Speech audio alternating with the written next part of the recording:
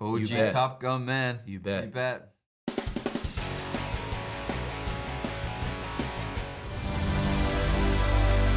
all that we do. Day in, day out. Does something to a guy, doesn't it? We're here to fight the monsters. The things these people are capable of. And they got it coming. Trust me.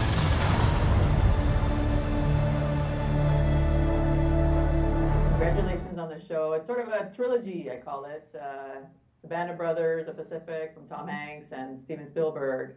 Uh, so, what was it like starring in this um, really great series about the airmen from World War II?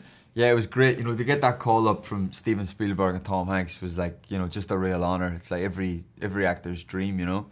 So it was great just to step into it and, and play these roles.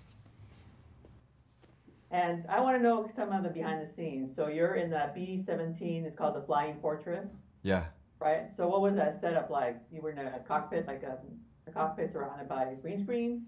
There was there we had a, a few different replica cockpits, um, and they were all mounted on this uh, hydraulic gimbal. It was this lift, and the the whole of the set was wrapped. Uh, there was this 360 degree screen. Actually, it was this new technology where they were able to uh, display, you know, the terrain and the sky and even the enemy fighters. You know, so when when we're looking out of that cockpit, we're actually seeing a rendering of these fighters approach us, and then the hydraulic uh, gimbal can can mimic the you know impacts on the plane. It can mimic some of the maneuvers, um, and everything's moving around with us, almost almost like a simulator, but of course being controlled um, by by our visual effects team. Um, so it was an incredibly immersive experience, and and and um, made it uh, really you know uh, so it's so exciting for us to to work on for those fight sequences. It really is a great technology, this volume, the volume set, I think is what they call it. Yeah. Um, you can just really feel it as an actor. So usually you have to use your imagination, right? But here you can really feel it. Um, so did anybody get airsick? Or did you practice? Any training? I don't know that anyone got airsick during training. I mean, you know, we were we were in there for, for many hours a day. You know, strapped up in there. It wasn't, and we were all we were hooked up to all kinds of equipment. You know, it wasn't easy to hop in and out of. So you know, Yeah, we were well looked after though. We we had this we had this crazy thing that like Formula One drivers have, which is like this vest and all these tubes, and you stick it into like a big Hoover filled with cold water, and it's sort of around your system to keep you cold. So we were we were well looked after. No one fainted or threw mm-hmm. up that I know of. Oh. Wow, great.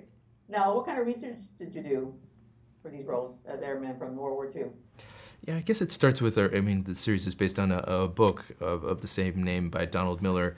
Um, and he knew many of these men uh, who are depicted in the series. So, you know, it, it, it all it all starts there with, you know, just a, uh, you know, a look at, at kind of the, the broader aerial war, but then, you know, the lives of, of these individual men, you know, and then for us, diving into our characters, um, finding anything we could, you know, interviews or you know so, something somebody said about them at the time, you know, all all to kind of give some texture and some life to uh, to these characters, um, and and make them uh, make them real for us.